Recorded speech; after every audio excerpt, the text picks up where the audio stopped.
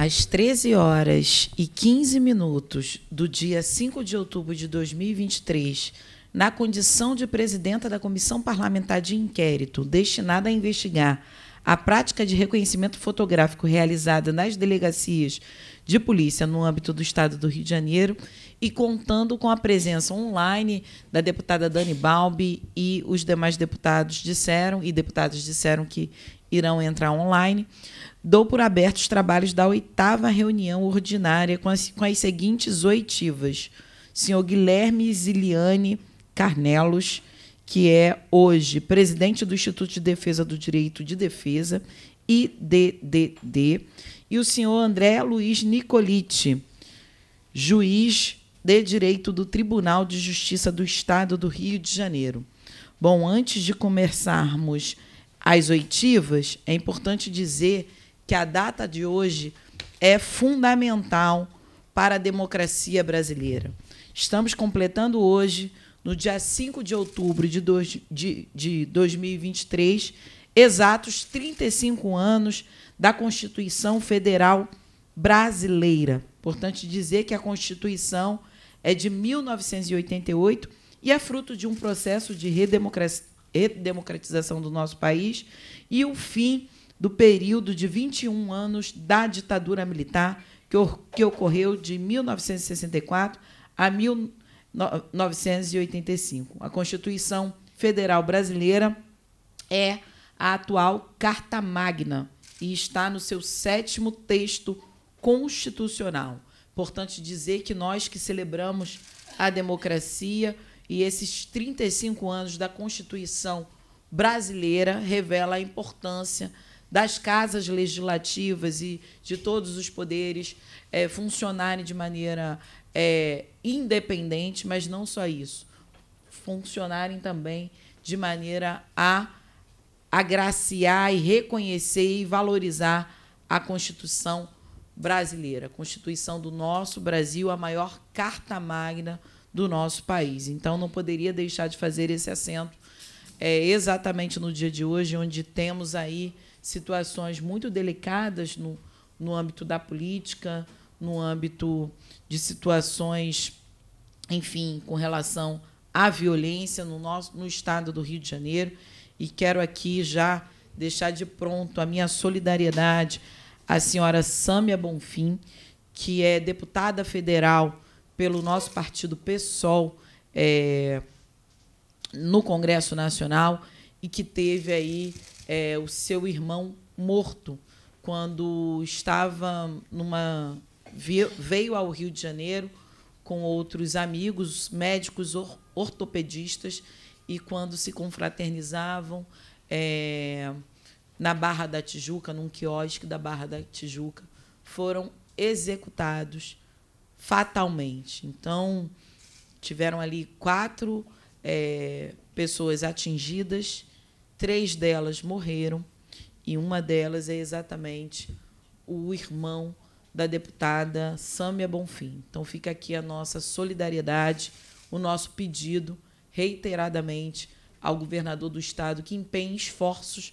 para que as investigações sejam isentas, mas que tenham uma uma uma celeridade tão importante e fundamental na responsabilização dos autores desse crime bárbaro. Então, deputada Sâmia Bonfim, deputado Glauber, Glauber Braga, tenho a nossa solidariedade e respeito nesse momento de dor e os demais familiares dos outros médicos atingidos nessa situação tão aviltante à nossa própria democracia. Então, que as investigações sejam conclusivas e tragam aí a responsabilização dos autores. Bom, feito essa essa fala inicial, eu convido o senhor Guilherme Ziliane Carnelos, advogado criminal, sócio do escritório Raal, né? Carnelos e Vargas do, do Amaral Advogados, graduado pela Pontifícia Universidade Católica de São Paulo em 2003, especialista e mestre em Direito Penal Econômico pela Fundação Getúlio Vargas de São Paulo, presidente do Instituto de Defesa do Direito de Defesa, IDDD, tendo feito parte de duas gestões da diretoria, além de ter exercício, exercido a coordenação da litigância, de estrate... litigância e estratégia estratégica da organização. E é associado fundador do Innocence Project é, Brasil. Quero agradecer ao senhor Guilherme a, a disponibilidade em contribuir com esta CPI, uma CPI que se dá no âmbito do Estado do Rio de Janeiro, diante de situações preocupantes, de equívocos nos processos, mas agora a gente gira essa CPI num, num momento fundamental também para o sistema de justiça, para que a gente possa compreender quais são os passo a passo para que pessoas não sejam reconhecidas de maneira equivocada por uma fotografia e que isso seja utilizado como um único elemento de prova para a prisão e possível condenação dessas pessoas. Então, eu agradeço demais ao senhor Guilherme por ter se disponibilizado a contribuir com esta CPI. O senhor dispõe de 15 minutos iniciais para fazer a sua explanação e logo após vejo que o deputado Júlio Rocha também já está online nós faremos as perguntas que acharmos necessárias. Muito obrigada, senhor Guilherme. Perfeito. É, muito boa tarde, é, senhora presidente. É, muito boa tarde, senhora deputada Dani Balbi, senhor deputado Júlio Rocha e os demais. Já deixo aqui meus cumprimentos aos demais deputados que vierem a, a, a, a nos acompanhar hoje nos trabalhos. Eu gostaria de iniciar agradecendo o espaço de poder estar aqui, porque para o IDDD é uma, é, é, uma grande oportunidade de trazer as questões que são tão sensíveis do, do sistema de justiça criminal e que muito afligem o IDDD. É, quem é o IDDD? Né? O IDDD é uma organização não governamental que surgiu a partir do idealismo de um grupo de advogados criminais no ano 2000, Uh, eu estava lá como estagiário na época, então eu acompanhei o IDDD desde o seu nascimento, uh, ah, para discutir justamente, uh, justamente a, a, a, a, fragilidade de qualquer pessoa frente ao Estado. Né? Isso no sistema de justiça criminal tem uma, um, um poder muito grande. O IDDD começou ah, até fazendo um trabalho assistencial nos lugares onde a defensoria, na época nem existia defensoria ainda em São Paulo, então na época em que a Procuradoria de Assistência Judiciária não dava conta, e depois a gente chegou à conclusão de que nós somos muito pequenos para pretender fazer assistência judiciária, mas que nós podemos tentar sensibilizar o país agindo na base da raiz, na raiz dos, do problema, né? Ah, e, em relação ao tema, o processo penal do Brasil, de uma forma generalizada, sofre de uma questão muito séria, que é o desaparelhamento das instituições de forma generalizada para lidar com as investigações criminais. Uh, existe falta de investimento na atividade policial, falta de investimento na estrutura da atividade policial, do que é necessário para que o policial faça uma investigação de qualidade. E, nesse sentido, uh, quando falta estrutura, quando falta acesso à tecnologia, a investigação criminal ela fica muito atrelada às provas eh, que chamamos de provas dependentes da memória provas dependentes da memória ah, que se com as quais também se contentam Ministério Público e Poder Judiciário. Porque existe uma falta de estrutura, mas às vezes também, eu devo dizer, aqui é meu papel dizer, às vezes existe um certo comodismo com esse, com esse tipo de prova. O Ministério Público aceita, por exemplo, o reconhecimento fotográfico como prova única para iniciar um processo contra uma pessoa e o Poder Judiciário também aceita essa prova única como, ah, ah, como esteio necessário a uma condenação criminal. Ah, e daí, para isso, a jurisprudência acaba se protegendo, usando, trazendo alguns termos e algumas falas eh, que não explicam, que não, não resolvem o problema. Por exemplo, a testemunha, não, a vítima não teria motivos para mentir, ela nem conhecia o réu, ela reconheceu sem titubear, ela não hesitou. Só que isso não explica o grande problema da memória humana. A memória humana não é um filme, não é uma caixa, não é uma prateleira onde livros estáticos estão colocados ali e se abre a, a, o armário para se acessar a informação. Né? A memória humana ela é dinâmica e ela muda conforme as influências externas. Né? Então, uma, e, e, uma vítima, quando ela é, é, é confrontada com um fato criminoso, quando uma vítima de um roubo, por exemplo, sob, sob a pontaria de uma arma, ah, essa vítima ela tem a tendência a querer achar um culpado. Então, quando ela chega numa delegacia de polícia e um policial fala assim: tem um rapaz roubando bastante aqui na região, não é esse aqui? A vítima aprende que aquela pessoa é o autor do crime, porque a nossa memória ela ela é uh, uh, sugestionável. Por exemplo, se nós acabarmos essa reunião aqui hoje e amanhã cada um de nós for, for relatar essa reunião para um terceiro, cada um de nós vai relatar de uma forma diferente, porque cada um de nós tem uma apreensão diferente da realidade. E isso não significa, então, quando a testemunha ou a vítima não hesitam, não titubeiam, isso não significa que elas, que elas é, estejam falando a verdade. Também não significa que elas estejam mentindo. Elas podem estar, tá, elas podem estar tá cometendo, como muitas vezes acontece, um erro honesto. E essa é uma e justamente por conta dessa dependência da justiça brasileira, das as provas uh, uh, que dependem da memória humana, é que o IDDD começou a estudar o tema muito a fundo, lançou e iniciou um projeto bastante ambicioso chamado Prova sob Suspeita, em que a gente trata de todas as questões uh, das provas dependentes da memória, inclusive, uh, e que não teria como ser diferente, tratando inclusive do ponto de vista racial, porque a raça tem uma, uma questão muito diferente, muito, é, como é que eu posso dizer, muito relevante quando se está falando de reconhecimento, uh, que eu já vou chegar lá. E é isso. Uh, e o IDDD parte de uma premissa de que uma investigação de qualidade é interesse de todo mundo, né? Porque quando eu tenho alguém reconhecido por fotografia, ou seja, qualquer outro meio, uh, algum inocente na cadeia, eu tenho um culpado que está solto. Então não é interesse de ninguém que a investigação criminal não tenha qualidade investigativa.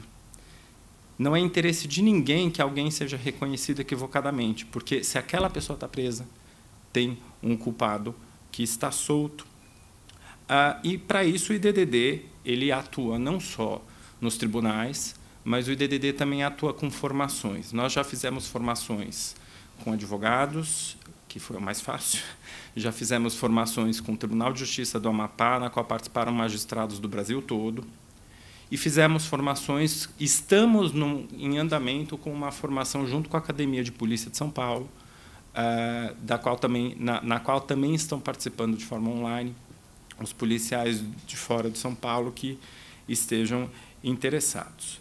É, e daí eu volto para a questão da prova dependente da memória. A professora Lilian Stein, que eu soube que teve aqui, ela fala uma coisa que é muito, muito verdadeira. Quando você tem uma cena de crime, tem um assassinato, tem uma cena de crime, todo mundo se preocupa em isolar a cena do crime para que as digitais não sejam perdidas, para que eventuais gotas de sangue não sejam apagadas. Só que ninguém se preocupa em fazer isso com a memória. Como se a memória fosse ah, uma, uma coisa estática. Ah, e daí eu volto ao tema.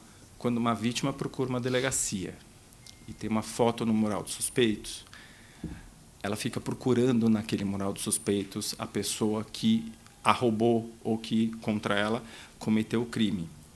Uh, e daí isso traz um tema que eu já me referi, que é o tema racial. É, e eu não estou falando aqui de racismo, eu estou falando de uma questão que é da psicologia do testemunho. O ser humano tem uma dificuldade de reconhecer traços identificadores da outra raça. Então, uma pessoa branca tem dificuldade de estabelecer traços identificadores de seres humanos, de pessoas negras, de pessoas indígenas, de pessoas asiáticas. Uh, eu acho que muita gente já ouviu aqui a expressão uh, que japonês é tudo igual. Por quê? Eles não são todos iguais. É porque é uma expressão uh, que vem de uma crença baseada na nossa incapacidade de reconhecer os traços identificadores daquela etnia. Então, eh, isso é muito relevante, porque se uma pessoa branca é vítima de uma pessoa negra, ela vai reconhecer qualquer pessoa negra que minimamente se aproxime daquele biotipo que ela viu, uh, que, que, que, que, ela viu, nem que seja num, através de um vulto, ou mesmo que ela tenha visto claramente à luz do dia. Né? Então, isso tem um impacto muito severo, uh, porque uh, a população mais submetida ao sistema de justiça criminal é a população negra, é a população vulnerável, é a população que sofre um determinismo geográfico. Né? Uh, quando a gente está falando, por exemplo, de pessoas vindas de comunidades, uh, e em São Paulo isso não é diferente, existe uma crença uh, dos policiais militares de que aquela pessoa que está naquela região, por ser uma região conhecida pelo, pelo, pelo, por exemplo, tráfico de drogas, aquela pessoa já é tratada como uma suspeita de crime. De início, ela já é tratada como suspeita de crime, e isso deságua num problema endêmico e que a gente precisa solucionar, que é o racismo estrutural, que ele atinge a todos nós, uh, ele atinge a, a todas, a, a, ele atinge as vítimas, ele atinge as autoridades encarregadas da, das investigações. Uh, então, quando a gente tem essa, essa, essa junção de elementos, e você vê a possibilidade de se introjetar na cabeça, e eu não estou falando que é uma introjeção proposital, é uma falta de, de, de eu diria, de habilidade para lidar com a memória humana, e se acaba introjetando na cabeça de uma vítima ou de uma testemunha uma memória que é artificial, a tendência da eternização daquela memória artificial é enorme. Então, por isso que eu volto, a testemunha diz, a testemunha não titubeia. E eu trago aqui aos, a, a vossas excelências um caso bastante emblemático aqui do Rio de Janeiro, no qual o IDDD trabalhou muito fortemente junto com a Defensoria Pública daqui do Rio. O IDDD foi procurado pela irmã do Paulo Alberto da Silva Costa, que foi um, um, um caso bastante noticiado aqui, que ele foi submetido a 62 ações penais, todas baseadas em reconhecimento fotográfico, através de uma fotografia é, de uma fotografia que foi extraída de uma rede social. Ou seja, ele com 34 anos, ele era primário, de bons antecedentes, nunca tinha sido fichado pela polícia. No entanto, não se sabe como a fotografia dele foi parar num álbum de suspeitos de uma delegacia, o 54º Distrito Policial de Belfort Roxo. E ele foi reconhecido em 62 processos. E nesses 62 processos, todos, e eu vi todos, todos são iguais. A vítima vai à delegacia fazer o boletim de ocorrência, ela é chamada numa segunda oportunidade quando ela vai depor. Neste depoimento, ela faz o reconhecimento. Alguns reconhecimentos, entre a data do fato e o dia do reconhecimento, passaram 250 dias. Então, não dá para dizer que era uma memória fresca. Né?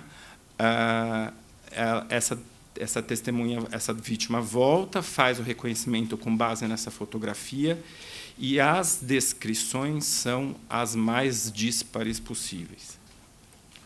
Ah, porque o procedimento do reconhecimento, para ele ter um mínimo de validade, ele tem que ser precedido de uma, de, de uma descrição muito é, pormenorizada que a vítima faz do autor. O Paulo foi descrito como sendo magro, alto, baixo, gordo, de 1,60m, 1,70m, 1,80m, 1,90m. Uh, tem caso que ele estava em três lugares ao mesmo tempo, assim com diferença de 10 minutos, e que seria impossível ele cometer os três crimes ali ao mesmo tempo. E uh, qual é a lógica da justiça? A dinâmica da justiça é: se a, se a vítima confirma o reconhecimento em juízo, ele é condenado. Se a vítima não confirma o reconhecimento em juízo, ele é absolvido. E, curiosamente, o Paulo foi mais absolvido do que condenado. Até o início do julgamento pelo STJ, o Paulo tinha sido condenado em 11 processos e absolvido em 17, e os outros ainda em andamento. Uh, o que mostra a fragilidade. E daí aí vem uma, uma, aí que eu falo que às vezes também vem um comodismo, não é só a falta de estrutura, né? Porque uh, o Paulo ele ficou preso mais de três anos e ele nunca, nunca houve a curiosidade de se comparar a, as características trazidas pelas vítimas com a característica real do Paulo. Paulo nunca foi ouvido pela polícia. Então, esse é um fato muito grave. É, é um fato que. É, e tem um segundo ponto, que é a questão do álbum de suspeitos. Por que, que a foto do Paulo estava lá? Isso não se explica. A questão é que o álbum de suspeitos ele acaba eternizando esse tipo de círculo vicioso.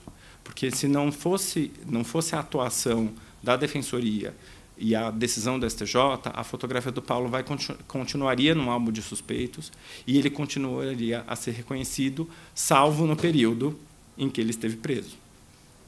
Então, é uma, uma eternização dessa condição de suspeito. Isso de alguém que, uh, uh, que é primário de bons antecedentes e que nunca foi alvo de um inquérito policial na vida.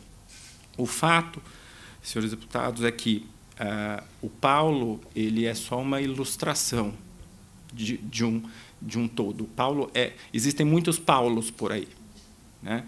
Então é, é por isso que o IDDD se preocupa e é por isso que eu agradeço muito a oportunidade de estar aqui de, de trazer esse tema aos senhores. Perfeito, muito agradeço. obrigada, Guilherme. Já vou fazendo as perguntas. Vejo que deputado Munir entrou também online. Deputado Márcio Gualberto parece também ter conseguido entrar online, mas é, indago alguns deputados que estão online se desejam fazer pergunta, perguntas agora para o senhor Guilherme. Deputada Dani Balbi, deputado Munir, deputado Júlio Rocha. Presidente, no momento. No momento, não. Muito obrigada, deputado Munir. Deputada Dani Balbi.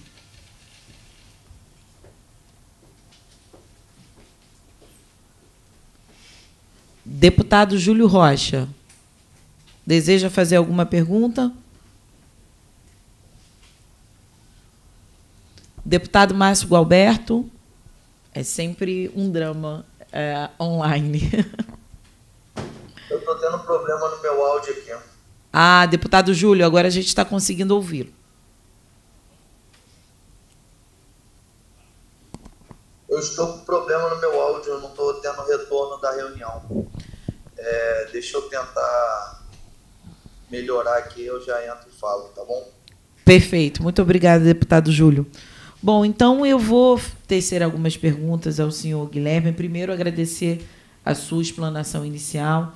É sempre muito importante. Acho que muitas pessoas que podem ouvir o senhor agora é, pode pensar que esta CPI já está se repetindo em determinado grau, justamente porque o senhor é, apresenta alguns dados que nós já ouvimos aqui, mas eu acho que quando a gente ouve de novo, a gente tem a confirmação de que não é um, um mero detalhe as situações que já foram expostas aqui de diferentes formas.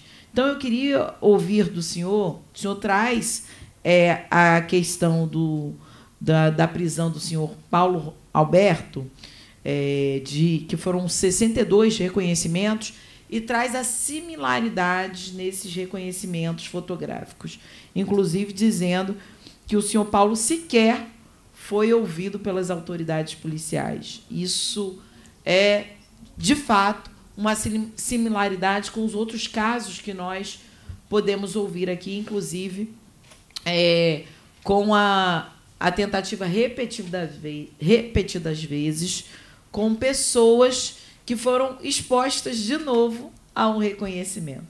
Então, é muito grave que esse, essa eternização de um suposto suspeito se perpetue a partir desse álbum de fotografia que a gente sequer sabe como foi é, criado, como foi utilizado. Como o senhor é, nos colocou aqui, o senhor Paulo Alberto sequer tinha passagem pela polícia.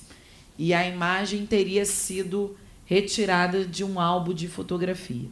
Então, eu gostaria que o senhor esmiuçasse também, diante das dificuldades da defesa num caso como esse, porque é evidente que se há outras pessoas numa situação é, parecida e, e, e, os procedimentos foram muito semelhantes, sente aqui, deputada Dani Balbo, por favor, e que as situações foram semelhantes, é, essa o, o, a, o equívoco e as dificuldades que a defesa tem também são muito semelhantes nesses casos. Então, eu gostaria que o senhor esmiuçasse isso.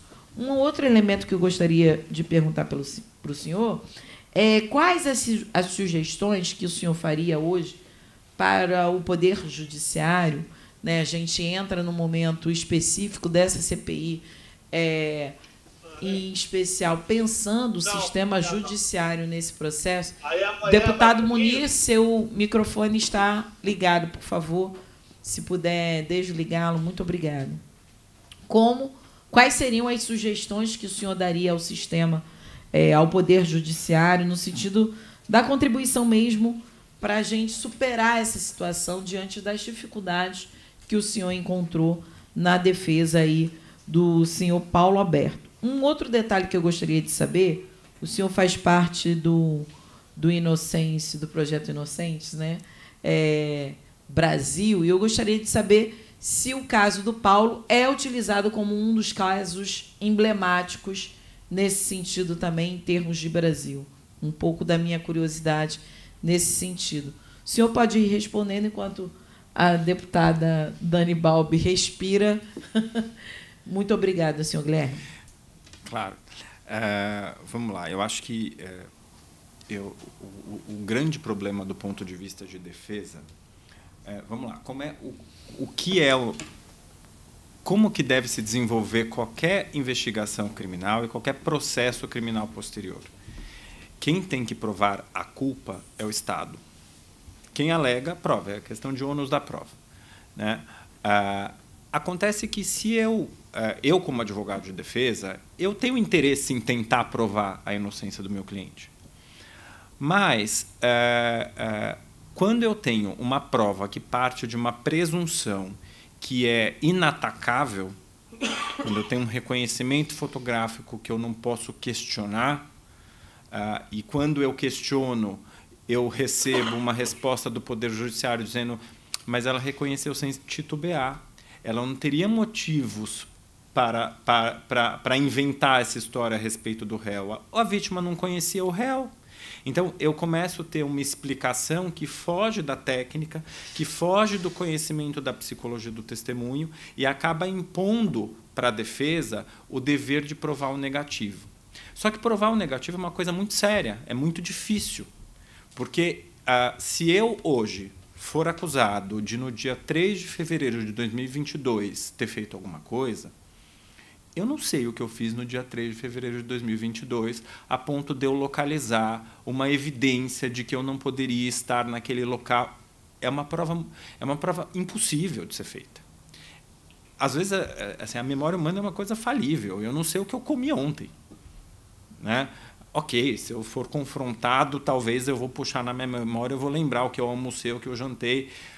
Mas é, dizer onde eu estava há seis meses ou há 15 dias, eu não sei. Ah, e ninguém sabe. E se você coloca. É, é, teve uma, uma série que foi muito noticiada na televisão, e foi um rapaz é, que também foi preso injustamente aqui do Rio de Janeiro, em que ele, ele foi preso injustamente em virtude de um reconhecimento equivocado, ficou preso há bastante tempo, e ele tem o costume, ele é um rapaz negro, e ele tem o costume de filmar e documentar o dia dele.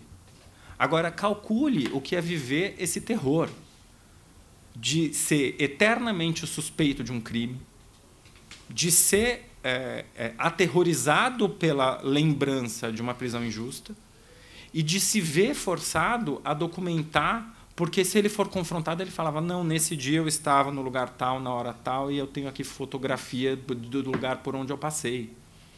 Uh, isso é, é, é enlouquecedor para qualquer um, e é, mais do que enlouquecedor, é desumano. Né? Por isso que é dever da justiça provar a culpa, e provar a culpa com, com, com provas uh, que tecnicamente sejam sólidas, o que não é o caso do reconhecimento. O reconhecimento ele é, quando muito, um início investigativo. Ele é um, uma, uma indicação de uma direção. É uma direção para onde a, a autoridade pode investigar. Ele não é prova. Ele não pode ser tratado como prova. Né? E uh, Vossa Excelência me pergunta a respeito da, da, da sugestão que eu teria. Uh, acho que a gente está falando de nor as normas processuais a gente infelizmente fogem do âmbito estadual, mas as normas administrativas não, né? Ah, um, uma possibilidade seria regulamentar os álbuns de suspeitos. Como eles se formam? Porque a, a, a autoridade da, da polícia judiciária, é uma, a, a atuação da polícia judiciária é uma atuação administrativa. E princípio básico do direito administrativo é que as autoridades e funcionários públicos, de forma geral, devem agir em virtude da autorização legislativa, do que faz ou deixa de fazer aquilo que a lei determina. Regulamentar os álbuns de suspeitos é o começo. Por quê? Como que essas fotos vão integrar o álbum? Quem é escolhido para estar tá lá? Por que só pessoas negras? Né? Então, é, eu acho que é um começo. Eu acho que daquilo que eu consigo pensar aqui de, de pronto, eu acho que é um, é um começo. Tá, uma outra pergunta muito rápida é com relação à reparação. Como é, como, por exemplo, num caso como esse, em que o Paulo Alberto fica, ficou três anos da sua vida dentro da cadeia, né, porque o Estado errou, Há processos de reparação jurídicos que imagino que vocês tenham encaminhado, mas como é que funciona processos de reparação em casos como esse? A gente tem uma. Eh, eu, eu, eu não conheço a realidade do Poder Judiciário do Rio de Janeiro para fazer essa, responder essa pergunta de forma completa, mas do ponto de vista de São Paulo, a gente existe um corporativismo judiciário muito forte porque e, e, curiosamente eu escrevi quando a Constituição fez 30 anos eu escrevi um, um, um, artigo exatamente sobre este inciso específico do artigo 5 da Constituição que é da, da, da necessidade de reparação de dano por erro judiciário. Existe um corporativismo muito forte porque os juízes não querem se ver alvos de, uh, de um, uma de regresso, por exemplo. Os juízes se veem na linha de tiro na hora que começam a reconhecer o direito à indenização por dano judiciário. Uh, o, no caso do Paulo, o problema dele com a justiça ainda não está resolvido. Ele já foi solto, mas ainda existem processos em andamento, então ainda é cedo do ponto de vista civil para falar em reparação, embora essa reparação, no meu entender, seja devida. Uh, a questão é que uh, eu dificilmente os erros judiciários são reconhecidos. Porque, por exemplo, num caso como o do Paulo, fazendo uma comparação, eu já vi muitas decisões ah, no sentido de dizer, não, mas o juiz, quando decidiu, ele tinha elementos para acreditar naquilo que a decisão dele diz. Ah, e, e, e, daí isso é, um, é, uma, é uma maneira do Estado se colocar do lado de fora de, do problema como se não fosse um problema do Estado. Foi um problema ali, olha, realmente os elementos apontavam para aquela direção. Não foi um erro judiciário. Uhum. Então, esse é um problema. Perfeito. Deputada Dani Balbi, gostaria de fazer algumas perguntas? Queria me desculpar pelo atraso, eu estava acompanhando remotamente, mas também estava em outra reunião. Queria, mais uma vez, cumprimentar a deputada Renata Souza é, agradecer demais, doutor Guilherme, pela presença, pela contribuição que dá aos trabalhos nessa CPI, que tem o objetivo máximo de, como bem colocou a presidenta desta CPI, fazer justiça, caminhar não só para que o sistema de justiça possa ser eficiente, suficiente, é, para que nós possamos dar respostas aos crimes sem solução, mas, sobretudo, fazer justiça para vítimas de é, reconhecimento fotográfico injusto. É, deputado, não poderia começar a minha fala hoje nessa Assembleia Legislativa, vi que a senhora também é, citou o brutal assassinato de três médicos que ocorreu hoje na Barra da Tijuca. É um crime bárbaro, um crime que nos parece, a princípio, que guarda muitas semelhanças com crimes políticos que vêm acontecendo não só no Rio de Janeiro, mas principalmente no Rio de Janeiro. Isso nos preocupa. O Rio de Janeiro é um estado violento, é um estado criminoso e é um estado que foi tomado por milícias, por agentes armados que fatiam espaços da cidade, que impõem uma lógica de terror. E nós não nos calaremos, nós, e eu falo aqui pela minha mandata, quando da ameaça, quando da tentativa de silenciamento e principalmente do assassinato de pessoas, como aconteceu hoje. Acho que é fundamental que essa casa esteja uníssona para fazer esse enfrentamento necessário, para que nós possamos, obviamente, dar apuração serena para as investigações. Fiquei muito feliz quando, de pronto, o ministro da Justiça reconheceu que esse caso, por ser um caso que fere é, indiretamente e diretamente dos parlamentares federais, precisa de acompanhamento federal.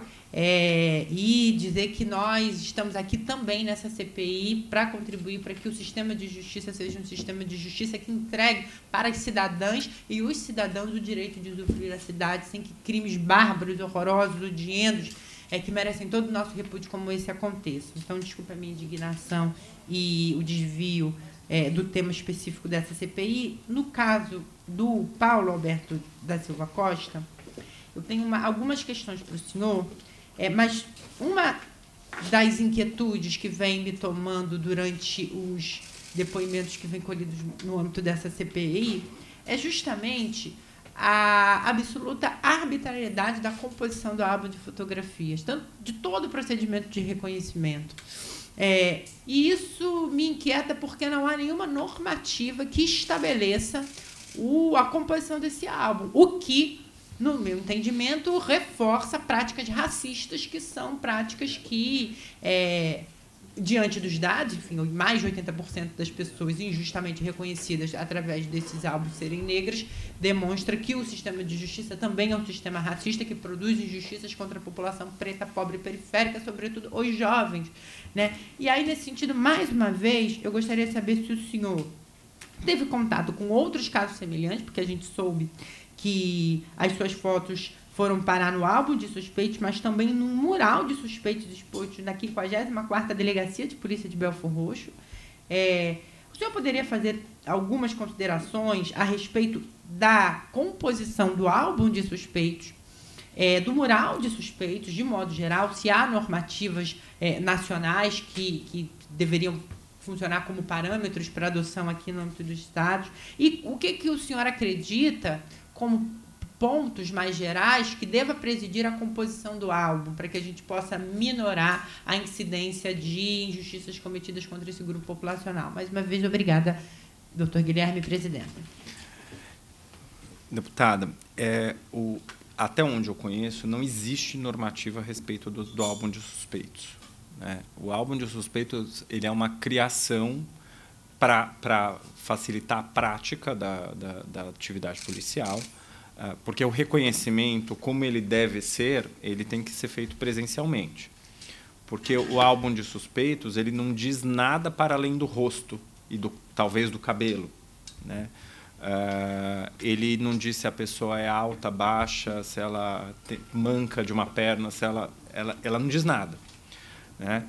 Então ele é um reconhecimento uh, que de toda não tem como ele ser um reconhecimento o que a gente chama de, de é, a, palavra é meio chata, epistemicamente válido. Epistemicamente seria uma, é uma palavra é, do, do juridiquês aí para dizer assim, tecnicamente, vamos dizer assim. Ele, o reconhecimento fotográfico nunca vai ter este, na minha visão, um status de prova. Ele, é, ele tem, no máximo, um indicativo. E a normativa ela é importante porque, uh, talvez, o, o, e eu estou aqui pensando alto, mas talvez uma descrição da pessoa que está na fotografia descrição real das características da pessoa que está na fotografia pode ser um caminho. Né? Eu saber quanto que aquela pessoa mede. Se ela medir 1,80m e a vítima indica que a pessoa tem 1,62m, essa fotografia já não é. Né? Porque o reconhecimento ele é feito como? O reconhecimento é, tradicional deve-se encontrar pessoas com características físicas parecidas com a descrição que a vítima faz do autor do crime e colocar em alinhamento para ver se a vítima reconhece alguma daquelas pessoas. Ah, e por que que no reconhecimento fotográfico isso não é feito? O que tem lá é só um rosto. E o que, que tem de, de traço comum nos rostos que a gente vê? É a cor da pele. E isso é muito grave. Isso é muito grave pelo que aquilo, que eu disse antes. A, a, as pessoas têm dificuldade de reconhecer as pessoas, de, de reconhecer e identificar traços individualizadores das pessoas da outra raça. Né? Então eu tenho dificuldade de reconhecer, de diferenciar 12 pessoas asiáticas, por exemplo. Então, esse é um, é, esse é um dado da natureza humana que a psicologia do testemunho explica. Então, é fundamental, primeiro, é, normatizar os álbuns de suspeitos, se eles vão continuar, primeiro, se ele permitir ou proibir, né?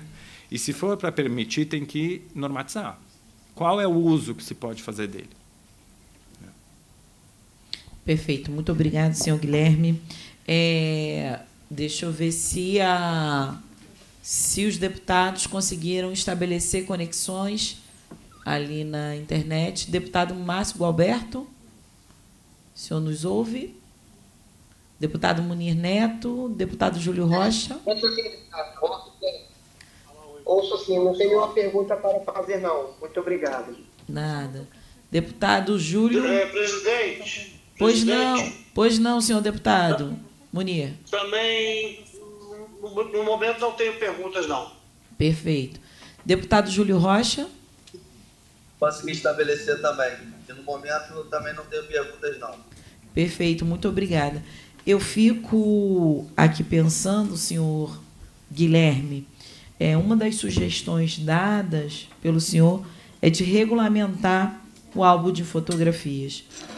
É, já tivemos aqui outras pessoas que foram é, necessariamente é, vítimas de um álbum de fotografia que disseram que esse álbum não poderia sequer existir. O que, que o senhor pensa com relação a isso? Estamos falando aqui sempre com relação à resolução do Conselho Nacional de Justiça, resolução 484, que determina né, os parâmetros para um reconhecimento pessoal, então é um reconhecimento no âmbito geral, e que essa resolução ela não tem ali necessariamente o reconhecimento fotográfico colocado. É o reconhecimento de pessoas e a forma de fazer esse reconhecimento de pessoas que não podem ser colocadas para um reconhecimento repetidas vezes, que essas pessoas, inclusive, num reconhecimento pessoal na delegacia, que coloque outras pessoas pareadas que sejam, que tenham traços, né, e que tenham ah, alguma coisa é, semelhante entre si.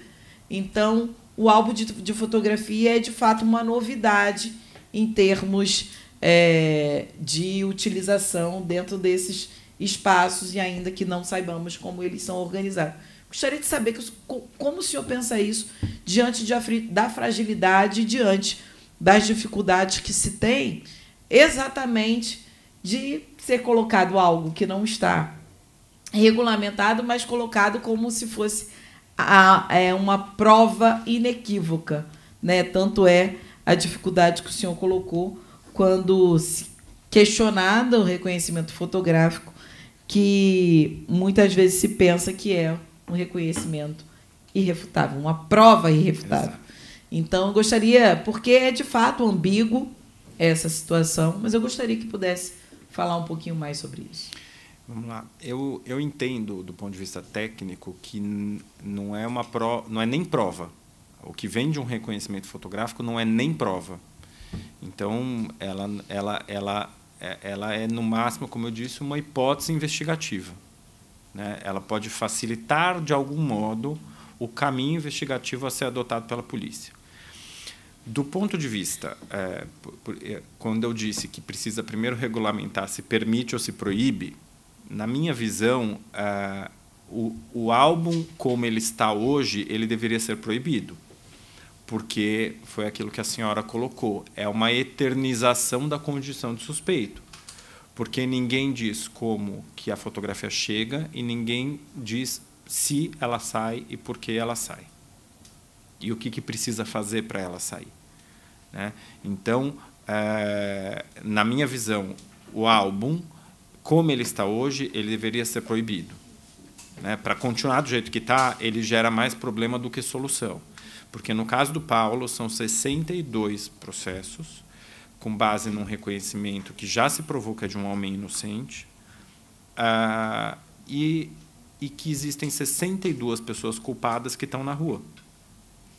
Então não interessa para ninguém continuar com essa lógica, com essa sistemática. São 62 pessoas que efetivamente cometeram crimes e que não foram sequer encontrados pela polícia. Então, uh, tem um, um, um, uh, eu diria que o álbum não tem que continuar, uh, mas se for para continuar, tem que continuar com muitos parâmetros. Perfeito. Muito obrigada, senhor Guilherme. Eu gostaria de sugerir aqui a suspensão de cinco minutos a chegada aqui do, do senhor André Nicolite, juiz de Direito do Tribunal de Justiça, que está chegando ao prédio nesse momento. Então, a gente suspende aí por cinco minutos para que possamos é, ouvi-lo também nessa oitiva. Então, suspensão de cinco minutos, já voltamos. Presidente, deputados que estão online. Pois não, deputado Munir? Pois não? Uma questão de ordem. Nós vamos deliberar alguma coisa hoje ainda ou não? Não, hoje é só oitiva, deputado Munir. Então tá, porque eu vou ter que me retirar. Pois não. Um outro compromisso. Não tem então, problema, tá, porque nós teremos tudo que foi ou tudo que foi falado, todas as considerações apresentadas pelos nossos convidados estão ali, terão notas taquigráficas, vocês poderão assistir em, em vídeo, então vai estar tá tudo documentado. O senhor pode ouvir depois as respostas também do juiz André Nicolite. Então, suspenso por cinco obrigado, minutos. Obrigado, presidente. Pois não. Obrigado. Suspenso por cinco minutos. Muito obrigada, senhor Guilherme.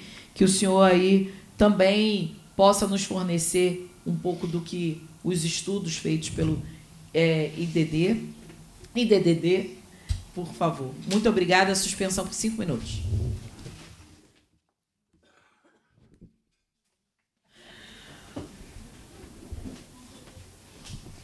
Bom, reabrimos aqui a oitiva da Comissão Parlamentar de Inquérito destinada a investigar a prática de reconhecimento fotográfico realizado nas delegacias de polícia no âmbito do Estado do Rio de Janeiro, contando aqui com a presença agora da nossa deputada Dani Balbi, os outros deputados estão online, e faremos agora a oitiva com o senhor André Luiz Nicolite, doutor em Direito pela Universidade Católica Portuguesa de Lisboa, mestre em Direito pela Universidade do Estado do Rio de Janeiro, UERJ, graduado em Direito pela Universidade Federal Fluminense, UF, professor permanente do programa de pós-graduação é, estrito senso em Direito da Unif, UniFG professor adjunto da Faculdade de Direito da Universidade Federal Fluminense, juiz de direito do Tribunal de Justiça do Estado do Rio de Janeiro, autor de livros e artigos jurídicos, dentre os quais Manual de Processo Penal, décima edição, editora de Plácido, editor-chefe da Revista Brasileira de Ciências Criminais. Gostaria, antes do senhor iniciar, relembrar aqui que hoje a nossa Constituição brasileira de 1988 faz 35 anos. Então, a gente renovar a nossa, a nossa perspectiva democrática e constitucionalista é fundamental. Então, quero agradecer ao senhor André Luiz Nicolite por ter cedido seu valoroso tempo a esta CPI. Nós estamos aqui diante de situações de equívocos no, é, reiteradamente organizado a partir do reconhecimento fotográfico e não à toa há o questionamento de que esses reconhecimentos trazem né, um prejuízo ao Estado Democrático de Direito, prejuízo também para a vida dessas pessoas que foram impostas aí uma situação de, de enfim, uma situação de equívoco judicial. E esta CPI, doutor André Nicolite, passa a um momento importante, que é o sistema de justiça, já que já ouvimos aqui algumas pessoas que foram é, impactadas diretamente, que foram presas por um reconhecimento fotográfico equivocado, mas também pensamos de que maneira a gente pode ampliar para o sistema de justiça um debate que faça sentido para toda a população. E o Rio de Janeiro hoje é um dos recordistas no Brasil de reconhecimento fotográfico equivocado. Então, gostaria de conceder os 10 minutos iniciais da sua fala e depois para que nós possamos aqui abrir aos demais deputados e deputadas dessa CPI. Muito obrigada pela sua participação.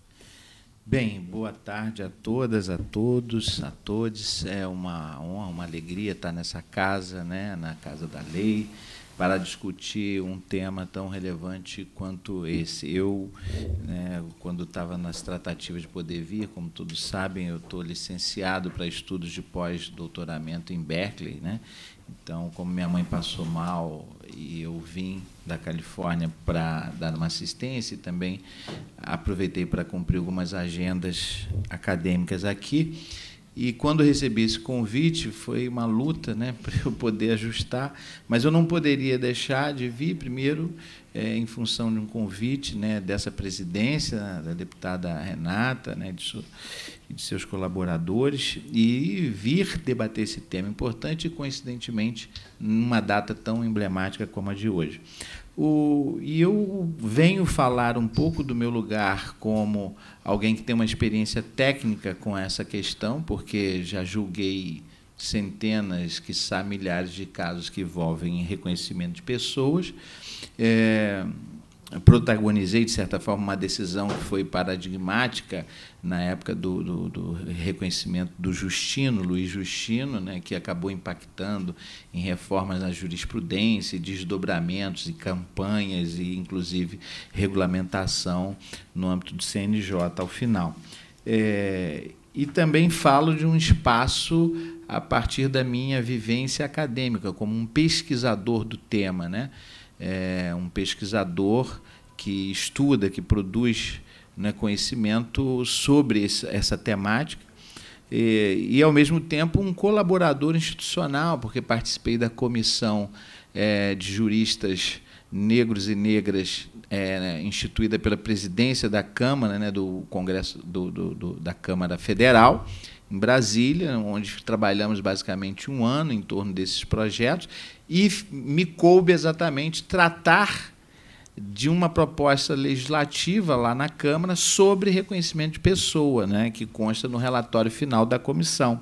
E, por fim, me coloco também como alguém que ocupa um espaço de uma pessoa negra que efetivamente é, é, conhece como esses reconhecimentos atingem mais fortemente é, é, as pessoas negras no país. Não só o reconhecimento, mas todo o sistema de justiça criminal tem por alvo não peles alvas, mas peles negras. Né? Não à toa o sistema carcerário brasileiro, diferentemente da universidade, que abriga, mesmo com a política de cotas, um número reduzido de pessoas negras, ou diferentemente do judiciário, que mesmo com a política de cotas abriga um número é, insignificante de pessoas negras, o sistema carcerário é generoso conosco e abriga mais ou menos 70% de sua população são constituídas de pessoas negras. Então, tudo isso me leva a falar um pouco desse tema. Mas eu queria, tecnicamente, falar que há um primeiro equívoco no tratamento da matéria, porque nós não temos prisões no Brasil por reconhecimento fotográfico. Nós não temos prisões no Brasil por erros em reconhecimentos fotográficos. E aí alguns podem fazer uma, não é, uma, uma feição assustada do que eu estou te falando. Porque no Brasil não se tem reconhecimento fotográfico. Não existe reconhecimento fotográfico. Não, e raramente existe reconhecimento de pessoa. Nós temos é, é, é, esse modelo de prova, reconhecimento de pessoa e reconhecimento fotográfico, quando ele é conduzido a atender protocolos legais e institucionais corretos, ele é um meio de prova importante e correto e que vai ter minimizado as possibilidades de erro. Então, quando um reconhecimento fotográfico ocorre rigorosamente seguindo os, os protocolos né, doutrinários, etc., sobre o tema, isso não quer dizer que não vai haver erro porque mesmo nos Estados Unidos e em outros países que você tem rigorosos protocolos sobre reconhecimento de pessoa, erro ainda existe, porque é uma prova que depende da memória, ela tem que sempre ser valorizada com muita cautela, valorada pelo juiz com muita cautela, pela polícia com muita cautela. E não é isso que ocorre. Essa prova é sempre supervalorizada, supervalorada pelo juiz. Então, isso eu estou falando de reconhecimento fotográfico, coisa que inexiste no Brasil. O arremedo que nós temos aqui é muito mais grave. A gente aqui trabalha, e isso tem que ficar claro para essa CPI, trabalha com o que a gente chama de identificação criminal por álbum de suspeito. Isso é muito mais sério, muito mais grave, muito mais trágico e muito mais errôneo. Por quê? O reconhecimento de pessoa por fotografia pressupõe um alinhamento de fotografias padronizadas, onde você tem um suspeito, ele foi previamente investigado e há indícios de que ele possa ter cometido o crime, e a fotografia de um suspeito apenas é colocada ali. E você tem quatro outras pessoas, no mínimo, ou cinco, ou três, a depender do sistema que nós estamos falando, sistema europeu, sistema americano, etc.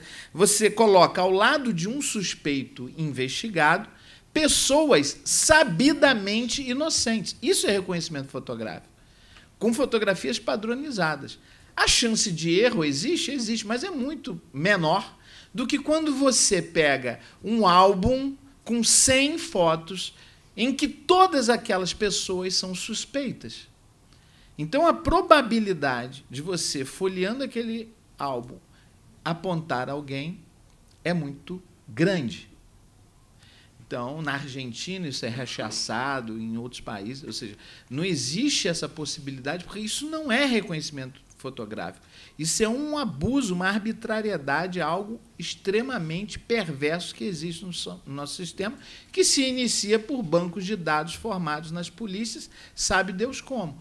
Por exemplo, o caso Justino. O caso Justino, geralmente a polícia forma esses bancos de dados de suspeitos, esses álbuns de suspeitos, através de é, ocorrências policiais. O sujeito passa lá, é fotografado, acontece uma ocorrência, por mais que depois não haja nada, mas ele teve o que a gente chama de uma passagem, foi visto como envolvido, e por alguma razão ele teve um encontro com a polícia. Isso é muito estudado nos Estados Unidos, seja, como se dá o encontro entre a polícia e o cidadão.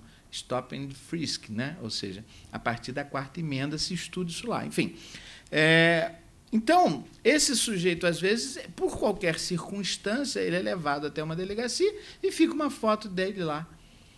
Mas a gente não sabe como ela foi parar, por quanto tempo, por quê e por qual motivo. Mas casos mais graves existem, por exemplo, do Justino. O Justino nunca, antes de ser preso, tinha ido a uma delegacia. Nunca tinha sido envolvido numa investigação como é, envolvido, como sequer como vítima ou como suspeito. A fotografia dele, quando foi parar num álbum, era uma fotografia à época em que ele era adolescente. E que, como adolescente, ele nunca teve passagem alguma também pelo sistema de infância e juventude. Então, não se sabe, não se tem a menor ideia de como a fotografia dele foi parar naquele banco de dados e, e, que levou o seu reconhecimento.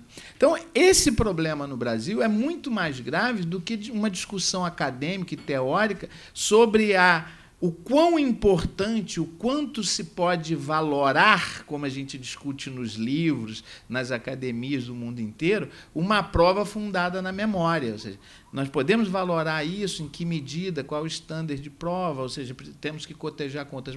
Aqui é muito mais grave. Aqui o que a gente tem é a formação de álbuns de suspeitos em que a gente não sabe como ela é formada, por quanto tempo essas pessoas estão lá, e com uma probabilidade de erro enorme, porque todas as caras, todos os rostos, todas as fotos que estão ali são potencialmente reconhecíveis. E aí vem um conteúdo racial. Eu, eu desafio essa CPI a visitar delegacias de polícia, pedir para ver os bancos de dados, os álbuns fotográficos. Se encontrar pessoas brancas lá, é quase impossível. Né? Então, esses são os aspectos trágicos desse nosso sistema, que é muito grave e gera muita prisão é, injusta, muitos erros. Todos os casos emblemáticos que nós estudamos é o que eu chamo de finais felizes. O Gustavo é, Nobre, né? Ficou preso, foi absolvido por uma revisão criminal ao final, ficou preso um ano ou mais, sei lá. Não é? o caso, mas por quê? Era um produtor cultural, pessoa conhecia um monte de artistas que se mobilizaram em torno do nome dele. O Justino era um músico desde oito anos de idade, numa orquestra, num movimento social, um dos mais importantes do estado do Rio de Janeiro. A orquestra se mobilizou em torno dele. O Danilo Félix era professor, era, era servidor da UF, então a instituição se mobilizou em torno deles. Mas quantos Josés, Joãos, Joaquins, invisíveis, jovens negros periféricos que não têm emprego, que não têm família, que não tem ninguém que vai gritar por eles, quantos desses foram condenados e estão cumprindo pena e ninguém nunca vai descobrir esse erro? Né? Agora, uma sociedade, ou ela se preocupa com condenações injustas, ou ela não se preocupa. Será que se um jovem loiro da classe média fosse injustiçado, né, é, isso ocorreria? Essa indiferença? Né? É, é óbvio que a questão do, das pessoas alvo desses erros também dão é, o tom da preocupação que se tem com esse instituto. E por isso a comissão, é, o trabalho dessa comissão é importante, porque ela está tirando aquele escombro, aquilo que está debaixo do tapete que a sociedade não quer discutir. A gente fala nas universidades, quando ensina processo penal, que é a minha cadeira, que o que diferencia um modelo autoritário de processo penal para um modelo é, democrático de processo penal é a preocupação que ele tem com a preservação do inocente. O processo penal democrático ele não está preocupado em punir culpados. O foco não é esse. O foco é preservar os inocentes. Um modelo democrático tem por é, micro, por digamos assim, por, por principal objetivo a preservação dos inocentes, a proteção dos inocentes. Esse é o foco. Um processo penal autoritário, ao contrário, ele se preocupa sobremaneira com a punição dos culpados, é o desejo mais forte dele intenso. Isso talvez seja legítimo. O problema é quando ele coloca isso na frente como objetivo principal, é, assumindo os, os efeitos colaterais dessa opção. Por exemplo, um modelo democrático coloca a proteção de inocentes como prioritário e tem um efeito colateral. Qual é o efeito colateral? Eventualmente, alguém culpado vai ser inocentado. E isso, numa democracia, é algo absolutamente normal. O modelo autoritário é um modelo que quer, a todo custo, punir culpados, que é um desejo legítimo. Quem de nós gostaria que um culpado fosse absolvido? Não é? O problema é que, quando a gente é, faz um, um, um, uma formatação das atividades da polícia, da justiça, do Ministério Público, etc., com o escopo de punir o maior número possível de culpados, a gente corre um risco maior de punir inocentes. Mas a gente assume esse risco, não se faz um omelete sem quebrar os ovos. Ah, eventualmente, como diz Machado de Assis no final de um conto fantástico, Pai contra a Mãe, ele diz: afinal, nem todas as crianças nascem. Alguém vai morrer. Né? Alguém vai ficar preso injustamente, mas isso é do jogo. Dizer, isso não é democrático. Isso não é democrático. E é estúpido. Por que, que é estúpido? Eu falo às vezes para os meus pares, quando eu dou aula nos cursos de formação e aperfeiçoamento. Quando vocês decretam a prisão ou condenam alguém com base em um reconhecimento fotográfico ou qualquer outra prova errônea, e você condena alguém injustamente, é, você causa dois problemas. Porque quando você absolve um culpado, você gera um problema. Você absolveu alguém que era culpado. Alguém que deveria sofrer uma punição, não vai sofrer uma punição. Quando você condena ou prende um inocente, você gera dois problemas. O culpado vai estar solto, vai estar rindo da tua cara, da cara do Estado. Mas ainda tem algo muito mais grave. No lugar dele, um inocente vai estar sofrendo as consequências.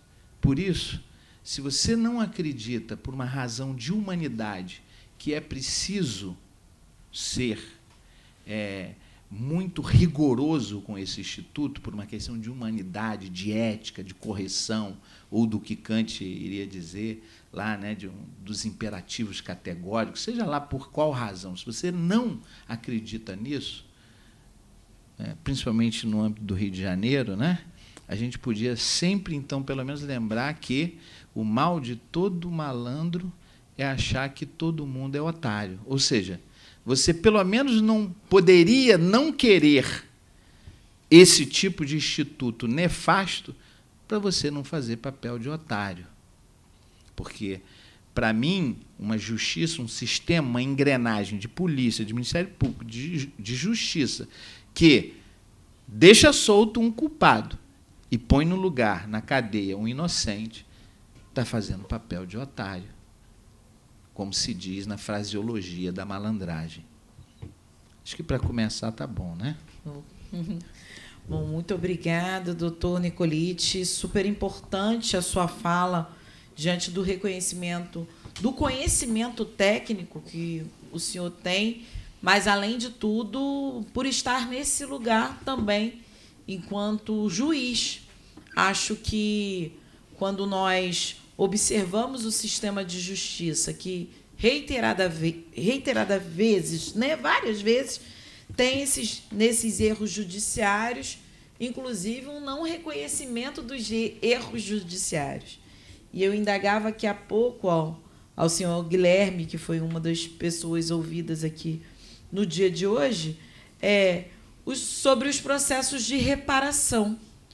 E há, sem dúvida nenhuma, um não reconhecimento do sistema judiciário em reparar seus erros, que também são erros do próprio Estado.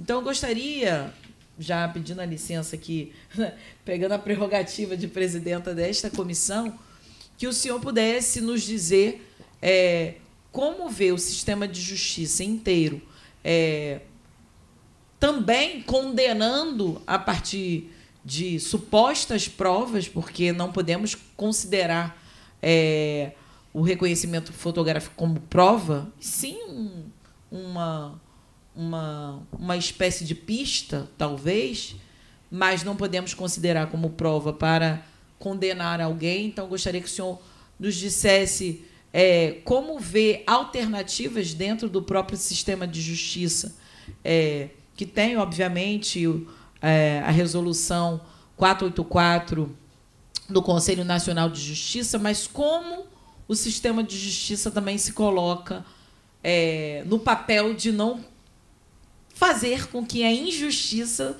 seja algo predominantemente é, nesses casos de reconhecimento fotográfico. Então, gostaria que, que o senhor nos dissesse sobre isso. O senhor é um juiz negro, uma raridade no sistema de justiça do nosso país.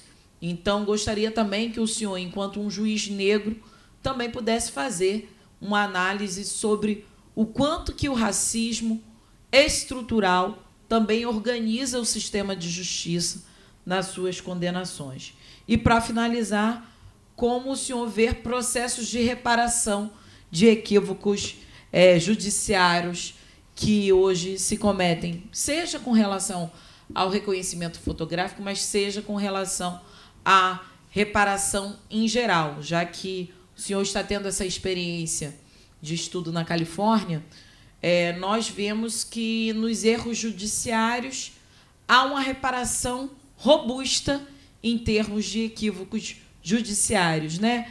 Seja quando o próprio Estado assassina um jovem negro, é, uma pessoa negra, como vimos no caso de George Floyd, seja em outros casos onde uma polícia é, racista também assassina é, jovens negros. E há, claro que sabemos que não há processo de reparação que repare uma vida, que repare a vida de toda a família, mas é vergonhoso para todos nós, enquanto brasileiros, enquanto Estado democrático de direito, que não há reparações contundentes em casos de erros judiciais. Então, gostaria que o senhor também pudesse falar sobre isso. Muito obrigada. Bem, é, quando a gente vai falar do, do reconhecimento, é, seria interessante também eu, eu falar de algo que antecede. Eu cheguei a dar uma pista sobre isso quando eu falei dos estudos sobre os encontros da polícia com o cidadão. É, muitas das vezes, é, esses álbuns de fotografia também são é, produzidos através de encontros da polícia com o cidadão.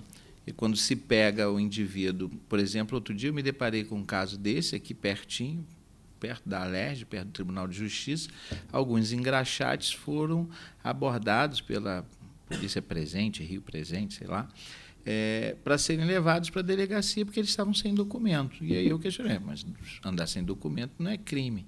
Por que, que vão levar ele para a delegacia? Então, seguramente, aquilo dali é uma fonte de alimentação é, desses bancos, porque aí eles chegam lá, são checados, são fotografados e já ficam ali cadastrados. Outra prática que tem ocorrido é que a própria polícia militar aborda pessoas na rua, pessoas que eu digo jovens negros, né? É, e fotografam em seus celulares e fazem isso circular em grupos de WhatsApp, né? que também é algo meio que incontrolável dentro de uma prática policial absolutamente informal, absolutamente ilegal. Não é? É, porque a polícia nos Estados Unidos, por exemplo, tem toda uma discussão sobre como ela pode abordar alguém, que isso só ocorre dentro daquilo que a gente chama de é, é, fundada suspeita ou causa provável, uma situação que indicie crime. Isso se reproduz no Brasil, de certa forma, embora nós não tenhamos uma legislação clara sobre isso. Né? Só o artigo 240 do Código de Processo Penal que vai lá dizer que pode fazer mandado de busca é, pessoal quando tiver fundada a suspeita. Ou seja, mas o fato é que a polícia, no nosso caso, que a gente tem duas, né? a polícia militar, por exemplo, que faz o policiamento ostensivo, elas não podem simplesmente olhar para a cara da pessoa e pará-las na rua. Nesse dia dos engraxados, eu falei, mas eles estão sem documento. Aquele senhor branco que está passando ali, será que ele está com documento? O senhor checou? Aquela mulher, o senhor chegou se ela está com documento?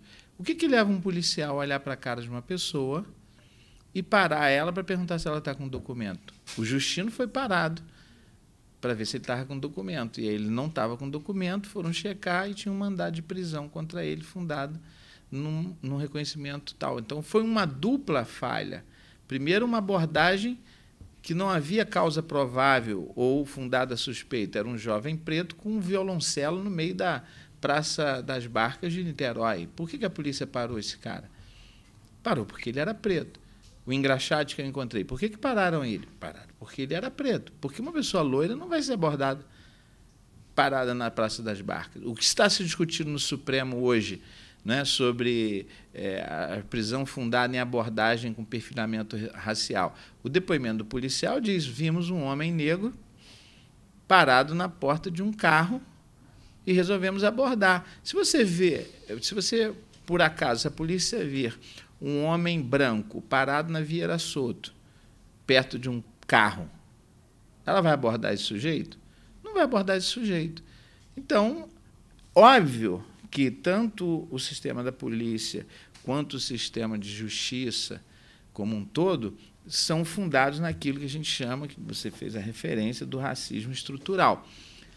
É, uma pesquisa de um, de um desembargador de São Paulo, Marcelo Semer, recente, publicado no, no Diplomatique, não sei, eu acho que foi, e ele revela isso. Ele fala assim: é, 95% das prisões, principalmente por tráfico, são feitas pela PM em flagrante.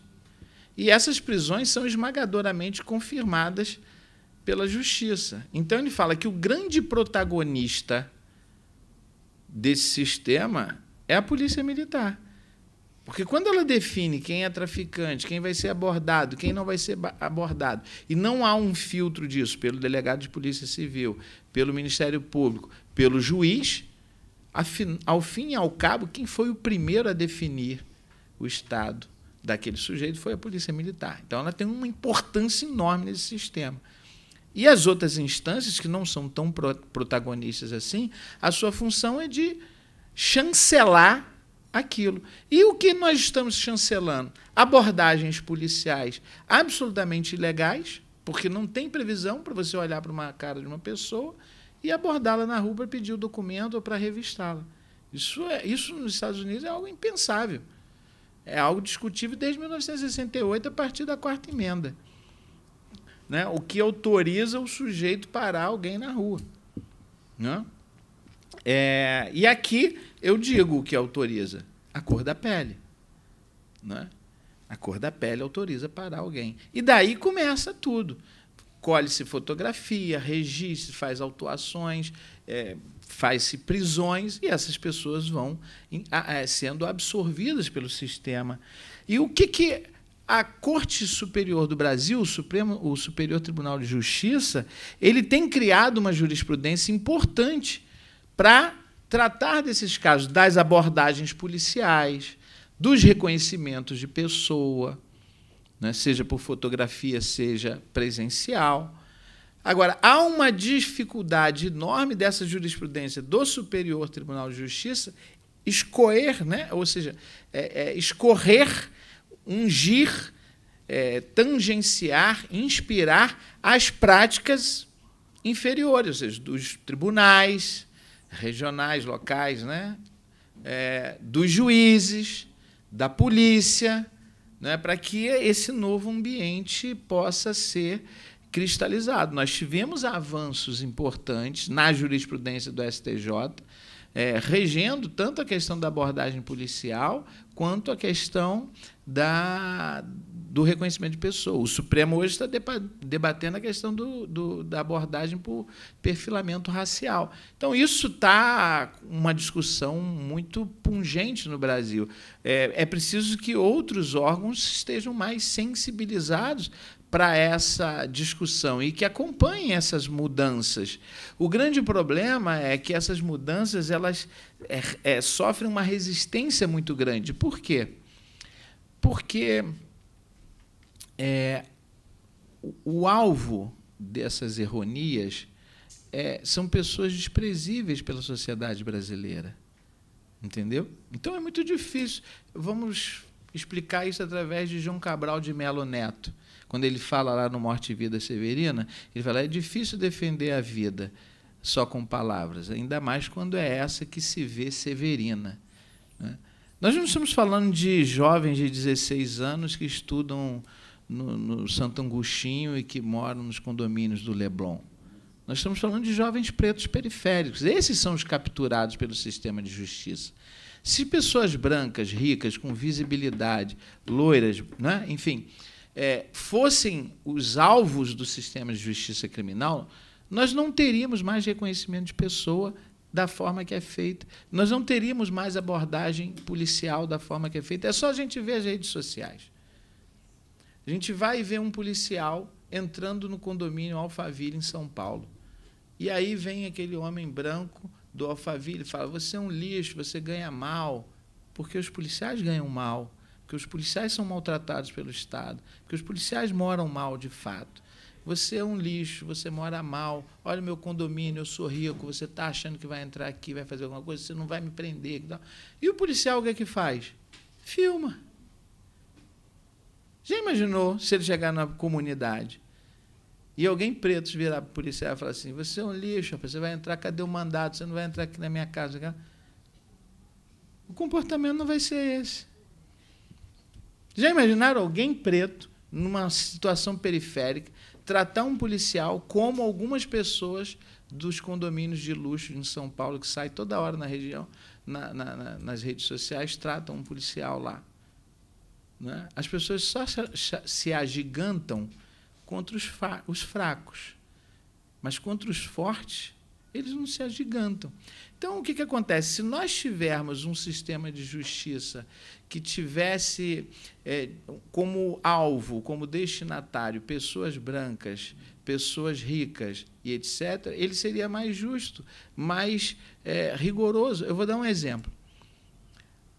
Durante muito tempo se algemou indiscriminadamente as pessoas no Brasil, até que o Supremo Tribunal Federal instituiu uma súmula vinculante número 11, que diz o seguinte: olha, não pode algemar as pessoas indiscriminadamente. Para algemar tem que ter isso, aquilo, aquilo outro, tá, tá, tá, tá, tá. Correto? Quais foram os fatos subjacentes a essa decisão? Um desembargador federal do Rio de Janeiro estava sendo investigado e foi algemado pela Polícia Federal.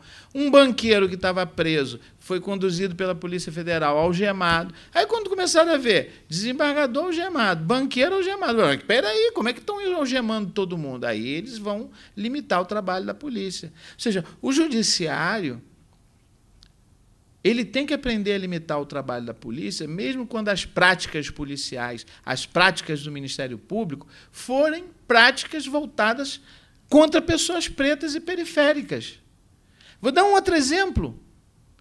A, a lei de abuso de autoridade, votada pelo Congresso Nacional, ela puniu a condução coercitiva, que era um absurdo como estava sendo feito no Brasil. Condução coercitiva sem intimação prévia, era político, empresário, todo mundo sendo conduzido coercitivamente pelo, pelo então juiz Sérgio Moro em, no Paraná, né, que colecionou um número enorme de conduções coercitivas.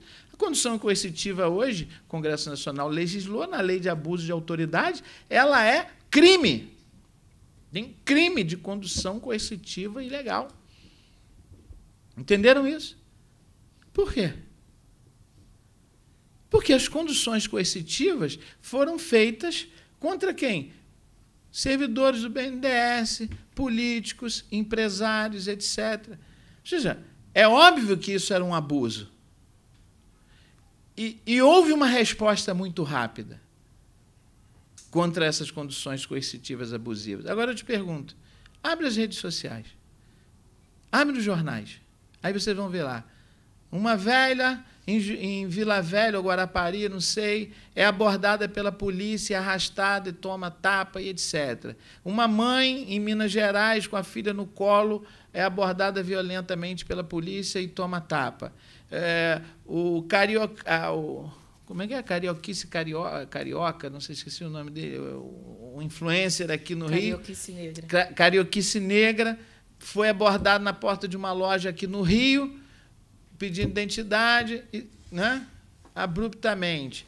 É, um ciclista no Planalto Central estava fazendo manobras, a polícia abordou ele, arma na cabeça, algemou, papapá. Né? Enfim, inúmeras, inúmeras são as abordagens policiais truculentas. Isso não virou abuso de autoridade. Por quê? Porque isso não é destinado a político, a servidor público, a, a, a banqueiro, etc.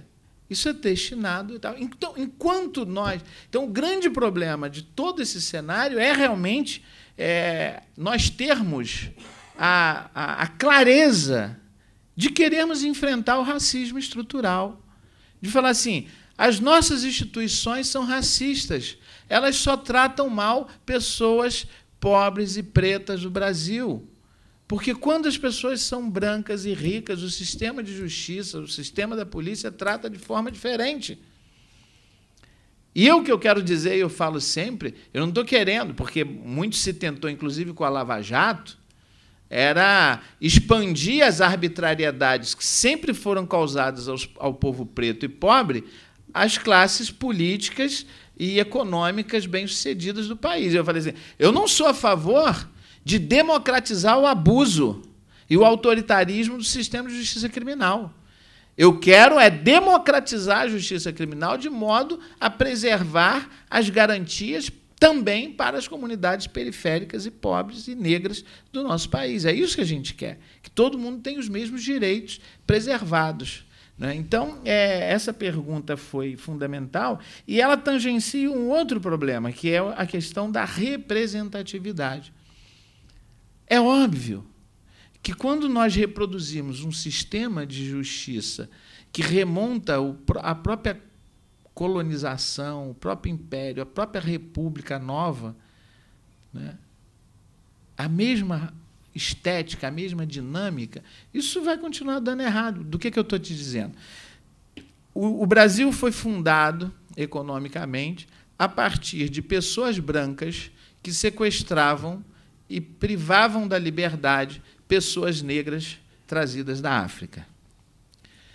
Durante o Império, puniu com a pena de morte pessoas negras que se insurgiam contra os abusos dos seus senhores e faziam as suas insurreições. Eram punidas com a morte. Está lá no Código Criminal do Império. Um grande debate jurídico do Império, do Código Penal do, Criminal do Império, era se mantinha ou não a pena de morte e se decidiu, enquanto tiver escravidão, vai manter a pena de morte porque não tem como ter escravidão sem ter ameaça da pena de morte.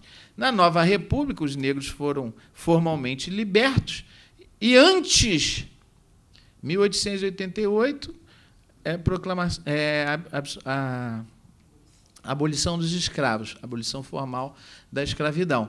1888. Em 1889, proclamação da República. E o primeiro documento jurídico que surge na República não é uma nova Constituição republicana. Essa só vai surgir em 1991. O grande documento jurídico que surge pós é, República e abolição foi o Código Penal de 1890, que teve qual a missão? De controlar os negros libertos. Como que ele fez isso? Criminalizou a capoeira, criminalizou a curandeir, a, a, o curandeirismo, criminalizou é, a, os batuques, as, as atividades de matriz africana, né, das religiões. É, então, ele criou um sistema, a vadiagem, porque as pessoas saíram das senzalas e não foram absorvidos pelo mercado de trabalho, ao contrário, houve uma política de importação de mão de obra salariada branca da Europa, houve uma política pública de excluir os negros, não só da terra, como do trabalho assalariado. Então, o que, que restava para eles? Ocupar as praças, jogar capoeira, fazer seus cultos. E eram vadios. E vadios eram presos. Então, ele criminalizou a vadiagem, a capoeira, o curandeirismo e outras práticas. E começou ali o encarceramento em massa dos negros. Então, e quem, e quem sempre puniu e privou da liberdade os negros? Pessoas brancas. E hoje, como é que isso funciona? De igual modo. Quem são os juízes e juízas hoje? Pessoas brancas. E quem são os presos hoje? Pessoas brancas, ó, pessoas negras. Então a lógica de hoje é a mesma lógica que sempre imperou na história do Brasil. Pessoas brancas é, punindo e privando de liberdade pessoas negras. Enquanto a gente não quebrar isso, essa justiça nunca vai ser empática às questões, é, às questões é, do, sérias e verdadeiras do sistema de justiça criminal. Uhum. Senhor Nicolite, é só porque a gente tem. Sim, tá, sim. Já vou perguntar, vou indagar se tem. Me desculpe interrompê-lo, mas vou indagar só se tem algum deputado, alguma deputada online ali, porque eu acho que parece que caiu todo mundo. Pergunto à deputada Dani Balbi, que aí faça a sua pergunta para ele concluir a linha de raciocínio, porque já já a gente já tem plenário sim, e vai sim. dar três horas da eu tarde. Me perdoe, por favor. É, queria, antes de mais nada, agradecer a Vossa Excelência por contribuir com essa CPI E, na verdade, a questão que eu tinha é, o senhor já começa a responder, sobre a atuação da promotoria e dos juízes, de modo geral, na perpetuação desse sistema injusto. Hoje, é, a gente observou que há uma série de precedentes do STJ em relação ao reconhecimento fotográfico também que limitam e que reforçam a necessidade de outras provas, provas periciais mais robustas, limitam a figurar a, o reconhecimento fotográfico, o reconhecimento de pessoas de qualquer forma como uma única prova que leve à condenação de um indivíduo e ainda assim isso se perpetua. A promotoria continua oferecendo defesa, o juiz continua acatando, julgando, condenando e a gente continua produzindo inocentes com traumas que vão carregar de, por muito tempo. Então, queria só que o senhor refletisse, nos ajudasse a entender como é que a gente pode provocar esses atores do sistema de justiça, especialmente a promotoria e é, os juízes, para que a gente possa ver a efetividade dessa CPI, mais uma vez agradecendo. Ah, muito bem. É, uma das perguntas anteriores eu deixei de, de responder, reparação. que é da reparação. Faz mas, outro, né? mas essa provocação me, me, me, me, remete um pouco a isso. É, eu acho que também essa, de modo geral, as instituições, os movimentos sociais e etc., devem é, pressionar né, a, a, o Estado a rever isso, muito também através desses sistemas de reparação, né, de ações civis, né, de medidas que possam é, perceber que sai caro para o Estado esse tipo de, de erro. Né? É óbvio que isso vai sempre depender da sensibilidade do juiz, que que muitas das vezes, por sua formação, sua cultura, sua branquitude, etc., vê diferentemente o valor da vida, o valor da liberdade, a depender da pessoa que está sob seu julgamento. Né? Mas, óbvio que isso faz parte de uma luta constante das instituições para isso. É, eu acho que a Alerj tem um, um papel muito importante, né?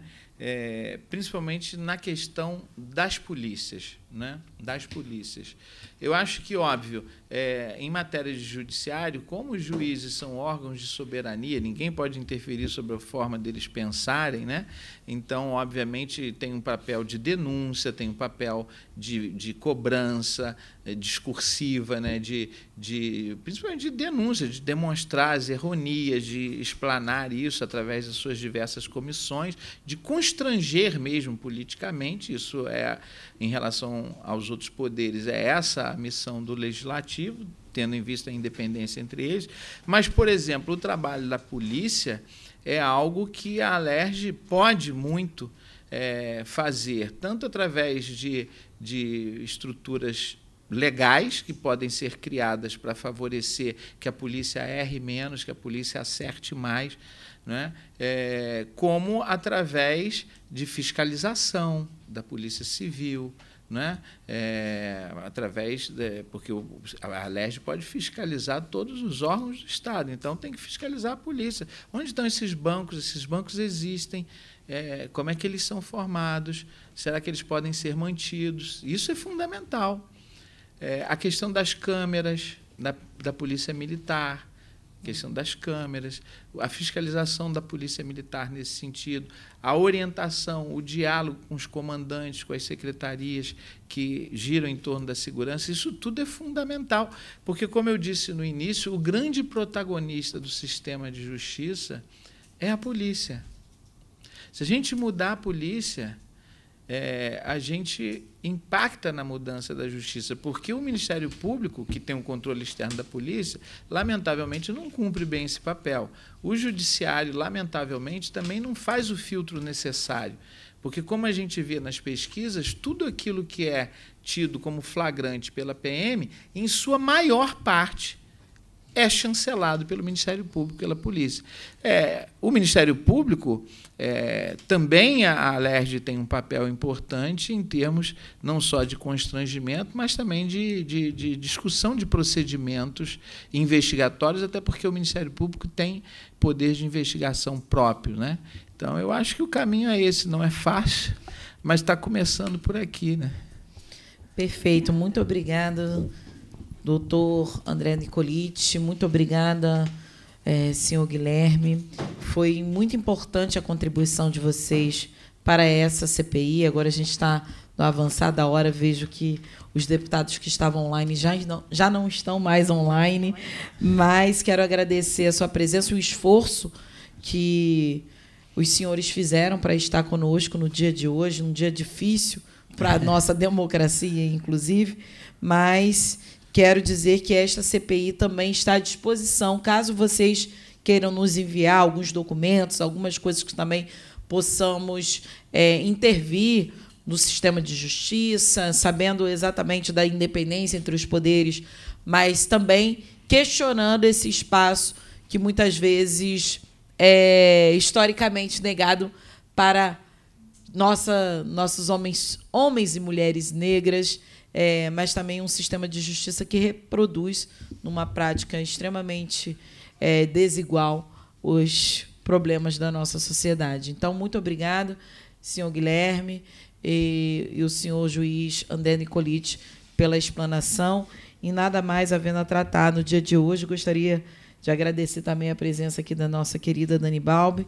Então, e a todos, assessoria, todos que estão aqui, está encerrada a oitava reunião ordinária da CPI do reconhecimento fotográfico.